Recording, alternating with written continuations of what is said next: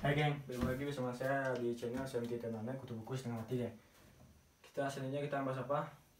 Reaksi hemik Apa nama reaksinya geng? Reaksi hemik Reaksi apa? Hemik namanya geng Reaksi hemik, oke Bagaimana sih mekanisme reaksi hemik? Apa dibentuk reaksi hemik ini geng? Dibentuk namanya apa? Pyridyl karbinol geng Apa namanya? Pyridyl karbinol geng Pyridyl karbinol geng Nah, itu bentuknya oleh apa? Hemik. Kita butuh apa, geng? Kita butuh namanya picolik acid. Apa namanya? Picolik acid. Namanya picolik, picolik ya, picolik acid, asam picolik namanya. Bagaimana strukturnya, geng? Sederhana aja, geng. Di sini ada apa? Ada suatu piridin. Piridin, oke. Okay. Di sini ada nitrogen, negatif charge, ada bukan ada sepasang terbebas. Oke, okay, oke, okay, oke, okay, man.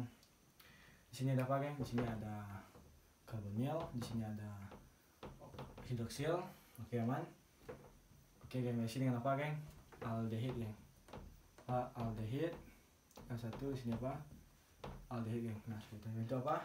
Pyridyl karbinol seperti apa bentuk pyridyl karbinol geng? Nah nanti kita buatkan kita jelaskan reaksinya lagi nanti di sini geng pertama reaksinya apa? Reaksi intramolekul geng. Apa namanya? Reaksi reaksi intramolekul geng. Apa namanya intramolekul geng.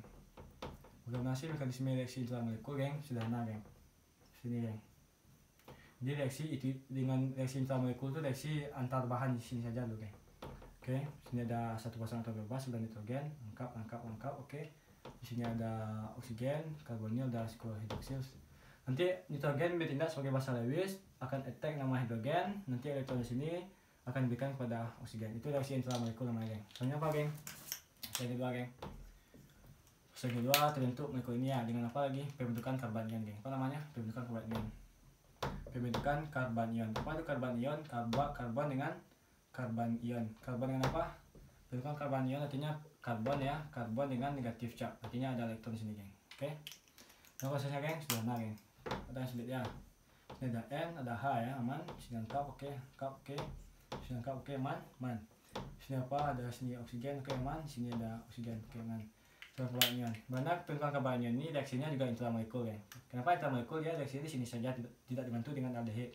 Nanti dibantu aldehid ya. Mekanismenya warna oksigen negatif charge ada elektron resonansi elektron untuk lengkap di sini. Elektron di sini akan diberikan ke sini geng ke itu sini geng seperti itu geng nah karbon di sini penulisan lengkapnya saya salah geng maaf ya. Kalau di sini geng oke dan tidak lengkapnya lengkap di benzena di ring ini salah ya. Lengkapnya oke oke oke oke oke oke oke apa?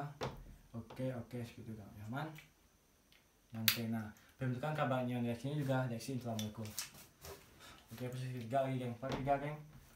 Terbentuk reaksi ini ya ada N sini ada H oke. Di sini kita buatkan dulu sini ada karbon karbon dengan negatif charge. Di sini ada lengkap di sini Oke aman, aman. Terlepas apa di sini geng? Terlepas molekul ini ya. Molekul ini nggak usah dibuat itu nggak penting molekulnya geng. Nanti apa? Sini karbanion, terbentuk karbanion. Selanjutnya siapa lagi? Reaksi untuk apa? Attack aldehid ya. Apa namanya? Attack. Attack apa? Aldehid geng. Terima aldehid ya. Attack apa? Aldehid geng. Sama dari reaksi intramolekul, reaksi intramolekul untuk pembentukan karbanion, attack aldehid lagi geng. Oke. Jadi geng. Oke, dengan kalau yang imbang ya sederhana saja geng. Ini apa? Karbanion ini karbon etek karbon intinya geng. Ada uh, kar karbanion itu adalah karbon ada elektron karbanion. Nanti karbon ini dapat etek karbon juga geng. Sudah apa? Karbon etek karbon ya. Elektron sini resonansi ke oksigen geng. Oke, seperti itu. Aman? Aman ya. Di atas lagi ya. Kita kita bahas ke atas geng. Oke. Oke, di atas geng. Nah, masih di atasnya geng. Oke, geng.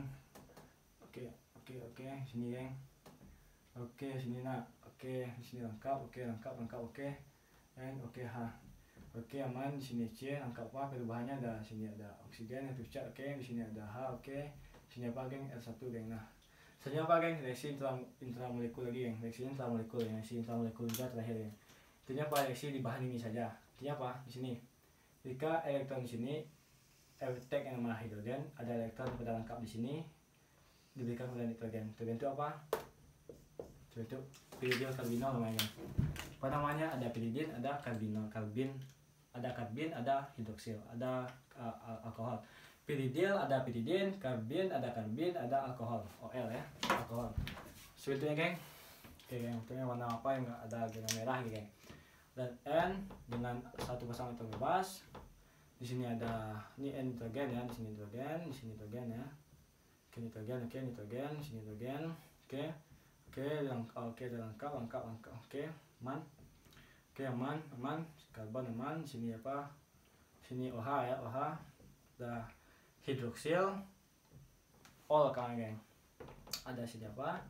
Ada H ya ada H di sini apa? Ada R ya ada R1 nah inilah piridil karbinol karbinnya mana? Ini karbin geng. Karbin uh, karbon ini karbin geng. Ini karbin ya bagian bagian tengah-tengah ini karbin geng. Yang C ini karbin. Piridilnya mana piridilnya ini piridilnya ini ya piridil geng ini. Nah seperti itu. Apa namanya? Piridil karbinol seperti itu geng oke man.